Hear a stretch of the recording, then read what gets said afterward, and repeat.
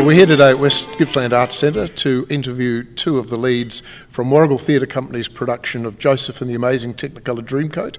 So, welcome to Kate Taylor and Jos Brooks. Thanks very Morning, much. how you going? Good, Rob. How are you? I'm well. Kate, really close to opening night. Mm. How's it all going? It's very exciting.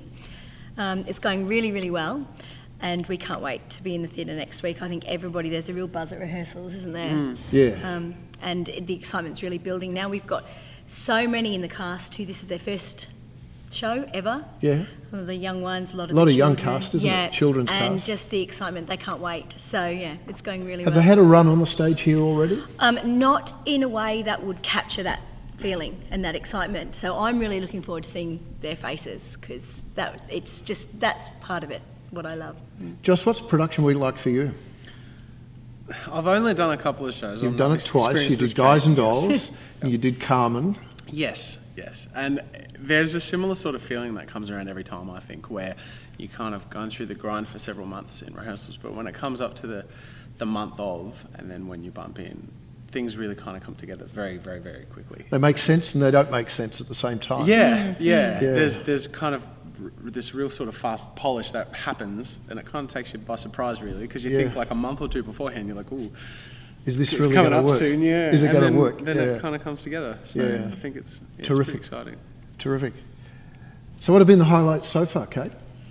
For me, it's been the children. Yeah. I love the children's. I saw you there last night at rehearsal, and I've got to Mm. say, I think the children like you a bit too. We, yeah, uh, I think we're just getting on and we love it. I love working with them. We've Mm. got some really, really great children performers, actually, Yeah. really on the ball, really know what they're doing.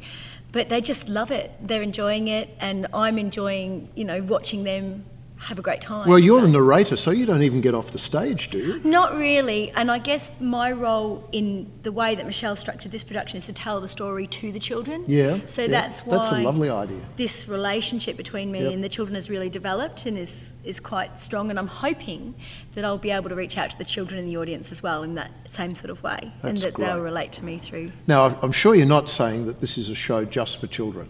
No, I'm not. no, it's. Uh, I mean, obviously, it's great for kids because it's so upbeat and there's so many terrific songs and colour, and there are all the kids in it. But there is obviously the music is from all different eras and all different styles, and he did that specifically. It's very eclectic, which is terrific. And um, we've got terrific. We've got an Elvis impersonator going on Yeah, on stage, yeah. and that's you know everyone's going to love it. So. Jos, are there um, any gags in there, especially for the grown-ups? Jos has a dance that's especially Oh. for grown-ups. Joseph the dancer. you know, jo- Joseph and Potiphar's wife. Oh, yeah, yeah. Sorry.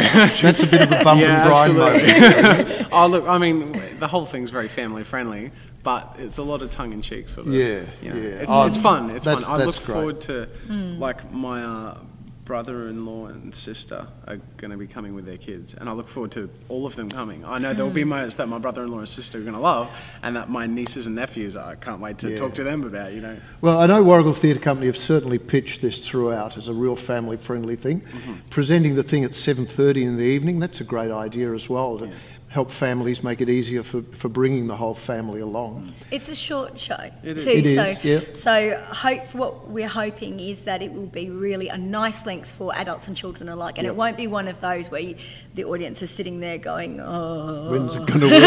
yeah, exactly. Oh, It's don't sing that and- song again. Exactly. It's, Yeah. it's quick and it Yeah. runs through, and everyone can Yeah. go and you know get a nice dinner afterwards, That's have for the sure. matinees. Or, Yeah.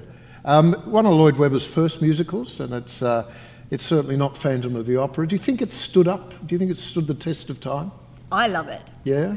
I love it because I can see his later works in it really clearly, and I can hear them. Oh, there's little bits of Superstar and all sorts Absolutely. of things. yeah. So that's really interesting to me. But um, I I really like the the way the show's put together. I really like the music. I like the tongue-in-cheek nature of the music. I think he's good when he takes something Yep. and he uses it and he imitates it and molds it, like he did with Cats. And he took T.S. Eliot's poems and he used those. And I, I actually think that's when he's at his best. Hmm. And I really like the music in this show because it's so fun. It's it's supposed to be an Elvis impersonation. It's supposed to be a hoedown, and it's supposed to be these sort of tongue-in-cheek musical yeah. moments. I think that's clever. So myself, yes. Yeah. So we know there's a, there's uh, there's a there's an Elvis bit.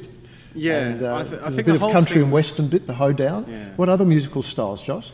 Ooh, there's a go-go. Yeah. So it goes back into I think my mum's era. Um, 60s or 70s. Yeah, yeah. I Look, it's all over the place. It's really mm. fun though. It and it? everything like it is. It's very toe tapping. And at the end, we finish off with a, a mega mix. A like mega mix. Which has the everything- eight, everything eight, all at once. eight- So well, got early 90s yeah, all piano track, going through all it. the yeah, genres kind of put into yeah. one. Yeah, and it's really fun. Mm. So we get to kind of finish with that, and everyone walks out. So every production of Joseph's that little bit different because, of course, it was originally all you had with the words. Uh, it's a complete sung through. There's no, you haven't got any lines to learn. You've just got the lines of the songs. What are the hardest songs to learn? They're all quite easy, I would think, to learn. What about the colours? I think they're easier for him The than What colours was a colours? bit The colours was hard to learn. I think how's it going? I I think wouldn't bore you with reciting them all. blue and green and azure and Oh, don't, don't make this happen. I happen. think I think it's easier for him than for me because his songs are very melodic Yeah. and fairly self-contained. Um, we have the colours, which is a list, but I have a list of brothers, oh, yeah. and Zebulon I appears a Zebulon lot. appeared a lot in that list Yeah. during rehearsals. When in doubt, times. Every go brother for was Zebulon. Yeah. Uh, Levi never got a look in. No, I don't like those jeans. we So, did that with the colours at first, though. yeah. Because and it was blue, blue and and blue blue. and blue. Yeah. so poor, poor Levi, the brothers had to stand up at certain moments when I said their name. Levi, no, never got to. Zebulon did it all the time. Uh. Yeah. So hopefully we've managed to. Well, maybe they could have named big name tags around their neck and that'll help prompt you. Yeah, that's What I need. what, an I idea. need. Too late now. No, we could have done that, couldn't we? Right. So, what should audiences be looking forward to? The special Warragul touch to Joseph and the Technicolor Dreamcoat. We- Well, I think you've already given it away. I think the idea of you narrating it with the children, mm. that's really clever. I think I love how Michelle's done this in that she's really put me in the show. Mm. So the actual characters in the show can see me. I'm, I'm telling the story from the beginning to my daughter. Yeah, Um, lovely. Yeah. And then she disappears into the story, mm-hmm. and I continue to tell the story sort of to her and the children in the audience. And that means that the characters in the story, including Joseph, can see me, which is great for me because sometimes the You're narrator like can feel a bit like floaty a thing yeah. You don't want to alienate Yeah, kind of yeah. Mm. these, these separate parts of the show, you know. And the narrator is as part of the story as anyone in the story, uh, which is really good because Mm. there are parts where I am completely oblivious to someone narrating what's happening to me there, and there are times where I'm interacting with that, and you know, she's singing about Poor Poor Joseph, and I look it up and I'm like, Yeah, yeah, um, yeah. it's pretty sad. So yeah, I've created him and everybody else in this story that I'm telling to kids. So it's nice that I get to to be in the story with them. Right. So, Jos, what's your favourite moment? My favourite moment. The end? There were a few highlights for me. It's a bit tricky. Look, I would actually say close every door personally because Yeah. Mm-hmm. first and foremost, I love the music and it's very big.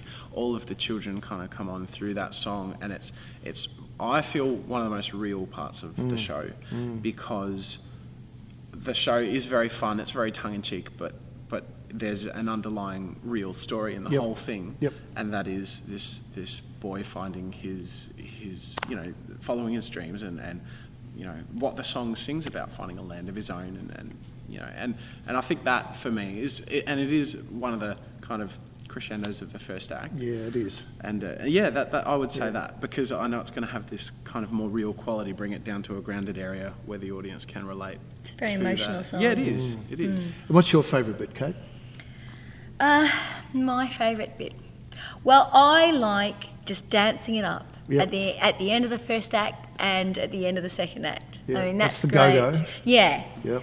And um, and I think when we um, were auditioning, we knew that that bit would be a really fun bit to get to do together, didn't we? Didn't we look at that bit and thought that that would be Yeah. a really fun bit? And that's actually happened for us, um, just to dance it up at the end of the first act. It's terrific fun, yeah. Now, this is the second time you two have played opposite each other. You played Carmen and uh, and, and and Don Jose. Was it Don? Yes, This it's is a very very different, different. Slightly different Very experience. different. So at the end of this, you don't get to stab each other or anything. No, No. I don't get to stab. Not unless he really annoys me. no, which I get to be a good guy this time, which is nice. That's Yeah. great. Yeah. That's great. Well, opening night, Friday the 17th. Everybody get along. I think tickets are se- selling very heavily for the Friday night. Uh, and the Sunday matinee is very solid and closing night. But um, in between, people should uh, get along, get their tickets, bring the whole family. I, I know the box office is getting big group bookings, so that's fantastic. People ringing, booking 10, 15 tickets. That's just the family. So that's, that's fabulous. So good luck with it all. All the best for uh, production week. And um, we'll see you on stage. Thanks very much, Ron. Cheers. Thank you. Well, there you go. I'm looking forward to it. What about you? I think you should get your tickets.